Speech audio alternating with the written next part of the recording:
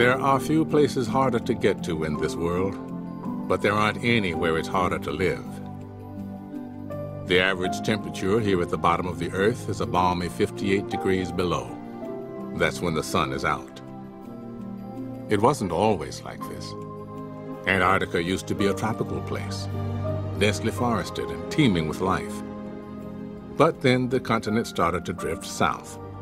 And by the time it was done drifting, the dense forests had all been replaced with a new ground cover, ice.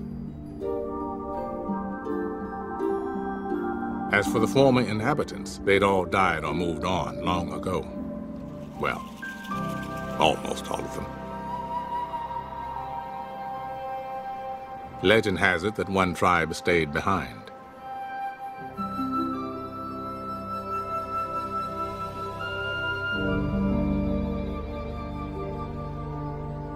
Perhaps they thought the change in weather was only temporary, or maybe they were just stubborn.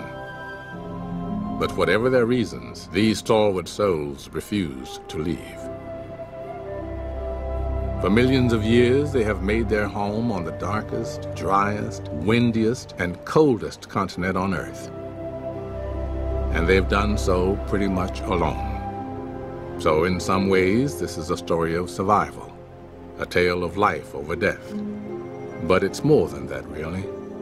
This is a story about love.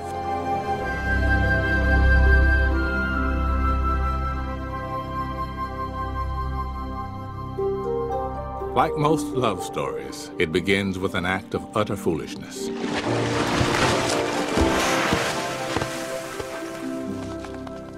Ah.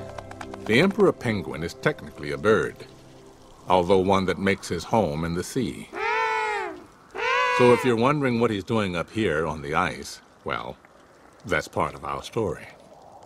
Each year, at around the same time, he will leave the comfort of his ocean home and embark on a remarkable journey. He will travel a great distance.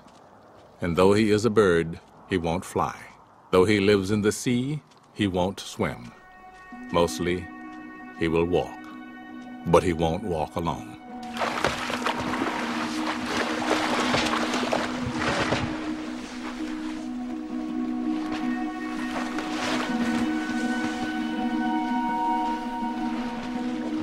It is March. Summer is over. And another long polar winter is about to begin. The birds have been feeding in the ocean waters for three months. Now, their bellies full, it is time to find a mate.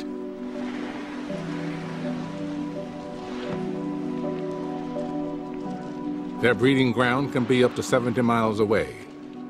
To get there, they will walk day and night continuously sometimes for a week.